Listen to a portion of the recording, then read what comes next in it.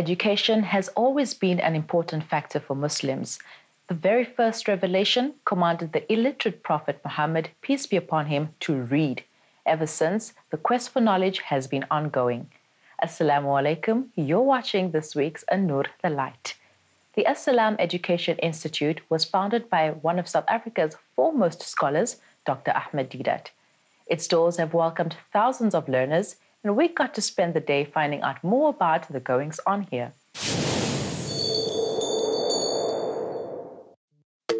The As-Salam Educational Institute can be found 90 kilometers outside of Durban in a rural area known as Braemar. Nestled on top of a hill and surrounded by picture-perfect scenery, the school has been around for 50 years, seeing to the needs of the community it finds itself in. One of the basic uh, human rights is education, and As-Salam ensures that we offer education in this rural, deep rural setting, and at the same time ensuring that the education is of top, top quality. We expose ourselves to scrutiny from the department, who have their own quality assurance team.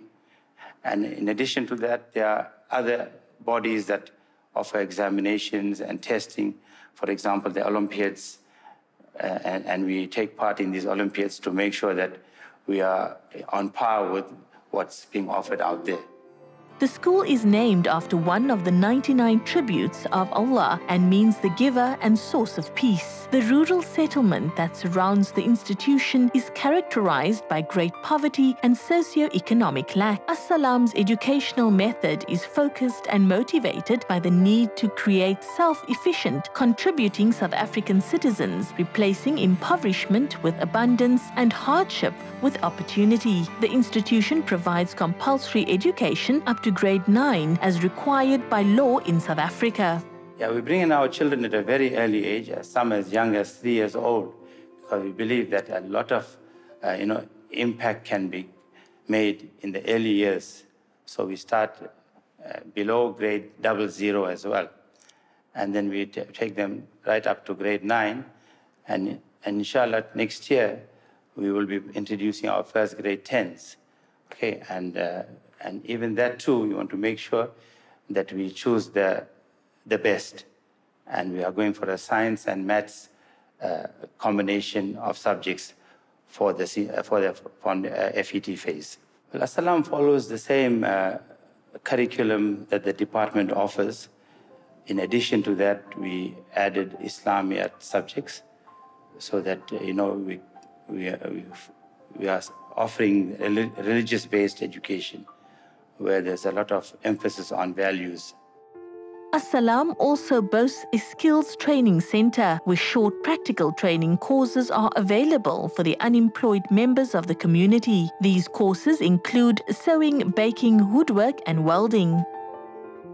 We introduce vocational training here and eventually formed partnership with Coastal College, which existed for the last 15 years, offering skills training and national examination courses. And through these programs, we have been able to uplift the community tremendously. It's very important that the local community are employable. So the skills we offer are basic skills like plumbing, uh, electricity, uh, welding, baking, and so on. Since 1950, the As-Salam Educational Institute has been arming both the young and not so young with Islamic-based education and training. Some of the success of the school can be seen in their teacher training program. Many learners who've graduated from the school are now either teaching here or in the surrounding communities. I think nobody can really appreciate what is happening at As-Salam without visiting the place. You know, pamphlets can be misleading and brochures can be misleading. So a, a visit is most important.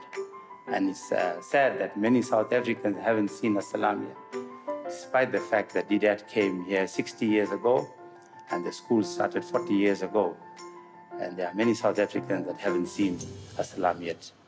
The main objective of the institution is dawah, So through these programs, we are provided with the opportunity to convey the message of Islam to others.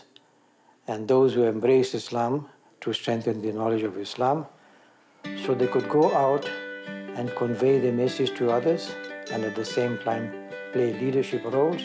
And at the same time, when they leave here, they go away from here with a career that they can follow. Nelson Mandela once said, Education is the most powerful weapon to change the world and is one of the most basic human rights. As-Salam Educational Institute gives both hope and opportunity to enable others to fulfill their potential. With the passing of Ramadan and Eid, our events calendar is fast filling up. Get yourself a pen and paper to jot down what's happening in your neck of the woods.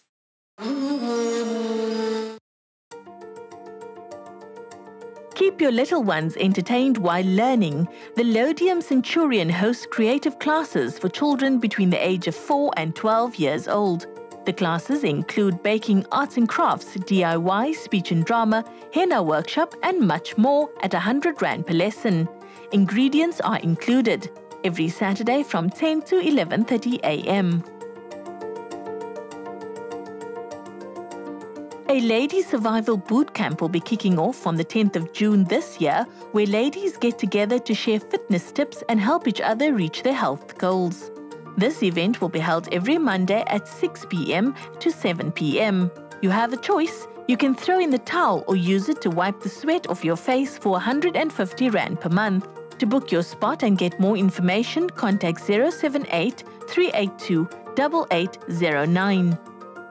The Islam community will be reminded on some of the important topics in Islam that includes the principles in relation to istiqamah, knowledge of necessitates actions, the characteristics of a pious wife, and many more.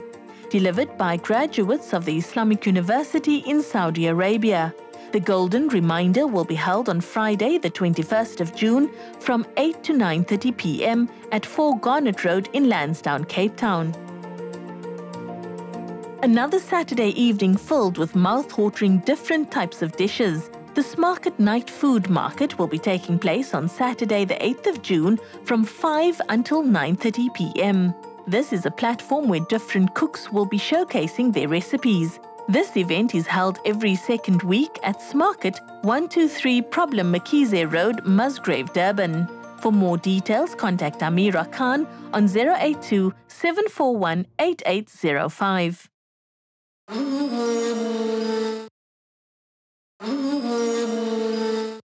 Much has been touted about the fourth industrial revolution. But what exactly is it? As global citizens, we should be aware of all that's happening around us, and today's topic sheds some much needed light on where we stand in the era of information technology. The fourth industrial revolution is touted to turn the world as we know it on its head. With advances in technology coming at breakneck speed, humanity is being readied for changes that will at once better our lives but will also pose a threat to us. So, the fourth industrial revolution was a term that was created by Klaus Schwab from the World Economic Forum. And what he noticed was there was a massive change in technology happening, uh, and there was various things happening. So few trends were happening. Computation was coming, becoming very cheap. Uh, there were lots of sensors being deployed, Internet of Things. Um, there was a massive move to big amounts of data, using big data in companies, and there was lots of automation and robotics. And he called this term of all these technologies coming together and driving business forward into the future as the fourth industrial revolution. Over the past 200 years, the world has seen great change, starting with the mechanization. This gave rise to factories and mass production, and lastly, the digital revolution.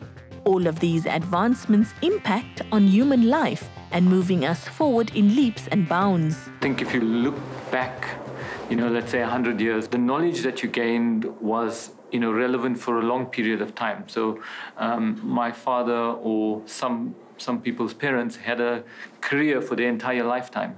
and they did that same thing for their entire lifetime. Um, and I think now what's happening is that is compressing. So you're going to have multiple careers over your lifetime. So you have to continuously learn something new, and then and then reinvent yourself and learn something else. You know, so a, a continuous cycle of learning and reinvention. All, however, is not doom and gloom. The advances that are being made will one day seep into every facet of our existence. But there is risk. One of the biggest concerns around the fourth industrial revolution is employment. A huge percentage of the world's population can be rendered jobless, but we just need to look to our past for lessons for our future.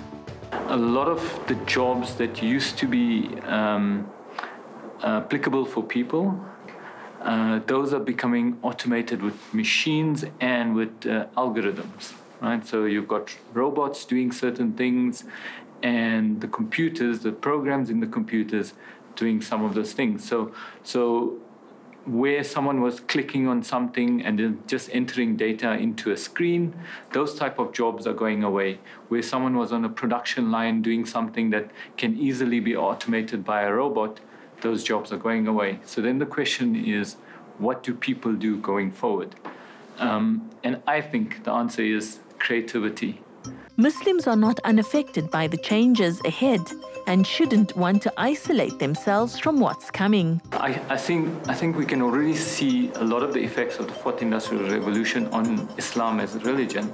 Um, previously, when I needed knowledge, I was limited to my social circle and my community. In today's environment, I can stream a lecture from the US, you know, into um, on my iPhone, right? So I don't need to um, attend the lecture locally or attend. I'm not saying that's a bad thing. What I'm saying is that you have so much of access to this uh, to a wide variety of different perspectives from various ulama that people are being exposed to a lot wider variety of viewpoints um, and I think that's going to impact on how we how we engage with ulama and the community and how it works. Parliament under President Cyril Ramaphosa has identified the fourth industrial revolution as something that can significantly add value to the lives of South Africans. But he's also noted the challenges to employment that will come with this. I think it's a very good thing that um, uh, our president is looking at it. And I think it's a big challenge for South Africa as an economy, as a country. Because if you look at where South Africa is from, from a you know, evolutionary perspective, we're still a developing economy. So if you had to split our workforce by the type of labor that we have, and we split it into manual and you know um, if you want to call it lower paying jobs and high knowledge work worker type jobs. I'd say 80 to 90 percent is on on the manual and the you know uneducated, unskilled type of jobs, um, and that's a challenge for the country. So so fundamentally, we need to start moving people up into the creative um, task, and that's that's not a challenge that we can solve very quickly because it it goes through from our economic policy all to our educational policy. Um, how do we make sure that people are, uh, are educated in a way that they can they can go into this creative task and give them better jobs. Some of the areas that the fourth industrial revolution will impact on are artificial intelligence, robotics, and nanotechnology. Government is being proactive and encouraging learners to interact as well as familiarize themselves with what's coming. We run a tutoring agency, so we provide tutors to students who need uh, tutorial services from anything from grade one all the way to second year. For us, the fourth industrial revolution basically means how can we uh, deliver our services and uh, faster uh, to the majority of the people who cannot access them now and, uh, and, and make sure that it's quality service that they couldn't get one on one and taking it to the next level. The advantage that the fourth industrial revolution brings to us is how can we deliver our services better and faster that's our the advantage that we see and we can we are already exploring the opportunities that it brings with in terms of streaming lessons to students but not just streaming where it's just one way communication we're trying to make it a two-way, whereby the student can also communicate with us while we're streaming, so that the streaming uh, content that we're bringing out is relevant to the student. The future is here and now. How we embrace it will determine how we interact with it. One thing is certain our lives will remain in flux as change happens.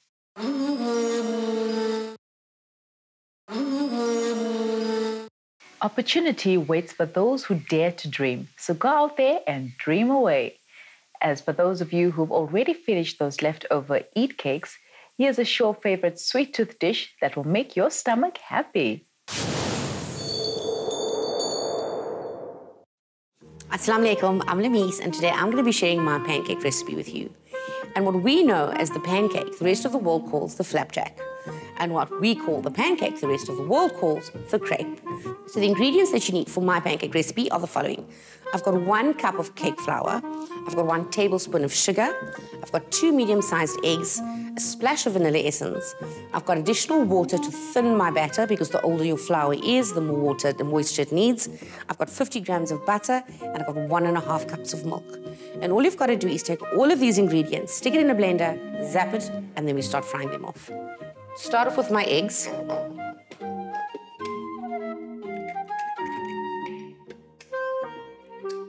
One cup of flour. Please don't use self-raising flour because it will thicken your batch. I've got a tablespoon of sugar. I've got some vanilla essence, my 50 grams of butter, and then my milk. The success of your pancake is all about the consistency of your batter.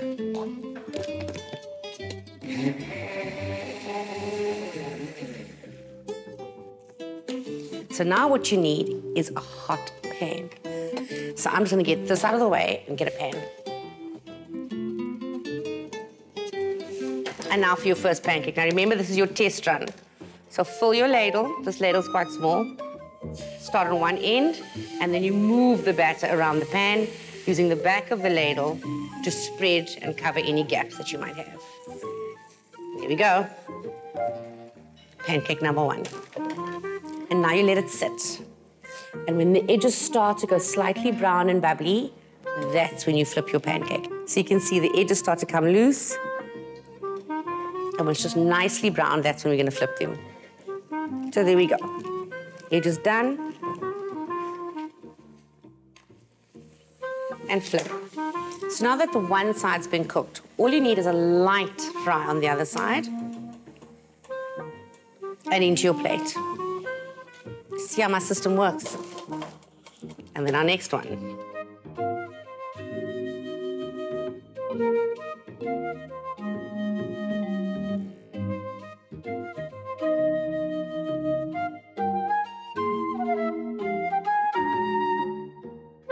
So the first topping I'm going to show you is a banoffee topping.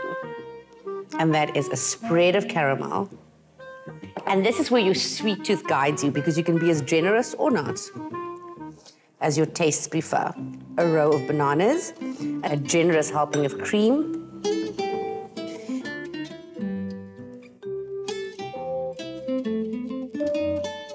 The next one I'm going to show you is the chocolate spread. That's just a 200 gram slab of any milk chocolate. And then your favorite fruit. Mine is raspberries, but this goes equally well with segments of naartjie, mandarin, orange, strawberries. This one needs also a loose roll. And you'll be able to see right through the crepes exactly what topping you're going to be getting. And then I'm going to do another favorite, which is strawberries. Who doesn't like strawberries? And all that strawberries is a sprig of strawberries. And with this one, I add just a drizzle of chocolate spread. Just to take that tart edge off the strawberry.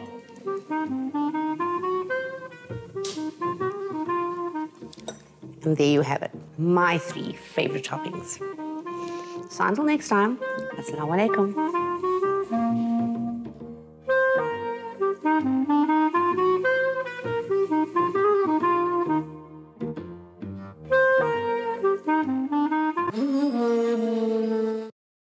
makes me want to run home and do some of those immediately.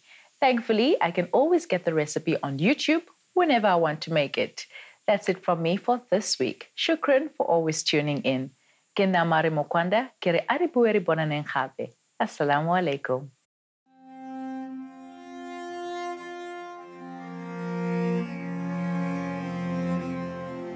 खुदा हाजिर है خدا موجود خدا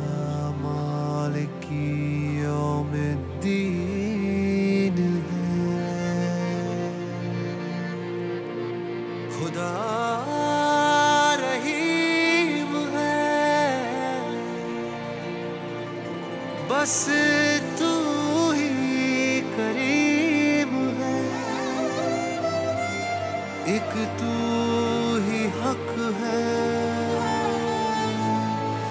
मालिकुल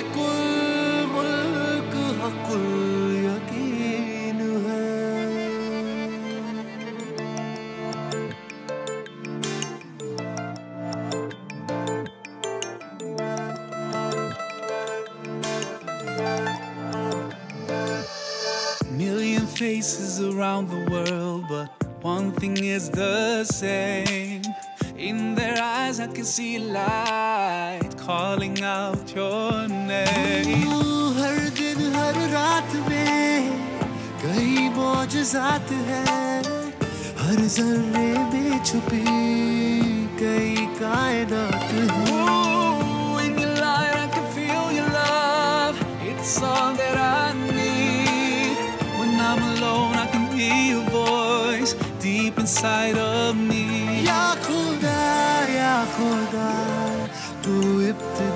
tu entorno.